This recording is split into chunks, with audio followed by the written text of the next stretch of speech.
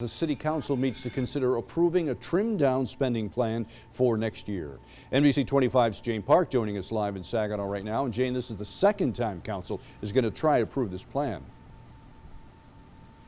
That's right, Bill. When council met last Monday, City Manager Darnell Earley asked members to pass his budget as is. That's with deep cuts to the police and fire force. Well, Mayor Greg Branch suggested passing that uh, with some amended, in, um, including some amendments across the board cuts that will affect city other city employees. Well, neither plan was approved after tie votes.